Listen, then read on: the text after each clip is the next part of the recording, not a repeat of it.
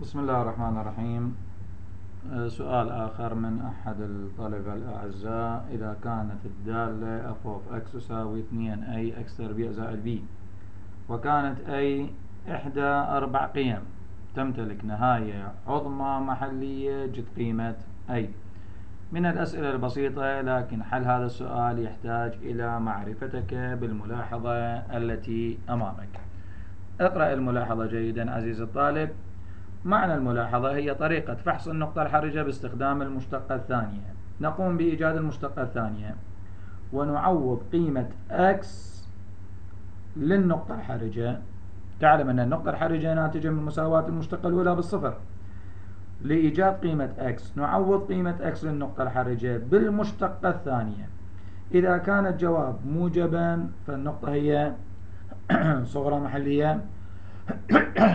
وإذا كان الجواب سالبا فالنقطة هي عظمى محلية وإذا كان الجواب صفر فإن الطريقة فاشلة في تحديد نوع النقطة. هذا إذا كانت المشتقة الثانية تحوي على المتغير x. لكن هذا السؤال. إذا كانت المشتقة الثانية عدد ثابت. هذا الثابت إذا كان موجبا فالدالة تمتلك نهاية صورة وإذا كان سالبا فالدالة تمتلك نهاية عظمى. سنلاحظ تطبيق الجزء الرابع من الملاحظة في هذا السؤال. كونوا معي أعزائي الطلبة نقوم بإيجاد المشتقة الأولى. F فتحة لل x ما هي المشتقة الأولى؟ ال a هو ثابت. مشتقة الثابت في دالة يساوي الثابت في مشتقة الدالة أي أنها تساوي أربعة. a x ومشتقة ال b صفر. ما هي النقطة الحرجة؟ لا يهم.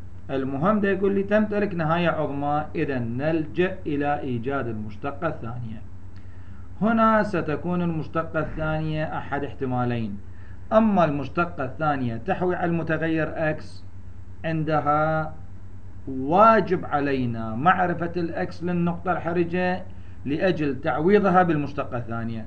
أما إذا كانت المشتقة الثانية عددا ثابتا كما تلاحظ في هذا السؤال فلا حاجة إلى معرفة x للنقطة الحرجة. هذا الثابت إذا كان موجبا فالدالة تمتلك نهاية صغرى. وإذا كان سالبا فالدالة تمتلك نهاية عظمى. يقول السؤال أن الدالة تمتلك نهاية عظمى يعني أن ناتج المشتقة الثانية يجب أن يكون سالب. سأتركك عزيزي الطالب في اختيار أحد القيم الأربعة الآتية ليكون ناتج المشتقة الثانية سالبا. ماذا أخترت؟ أكيد أنك اخترت العدد سالب واحد. إذا راح نقول أن أي تساوي سالب واحد والسبب لأن المشتقة الثانية ستكون أربعة في سالب واحد. سالب أربعة لأنها أصغر من صفر. إذا الدالة تمتلك نهاية عظمى محلية. ما هو المرادف لهذا السؤال؟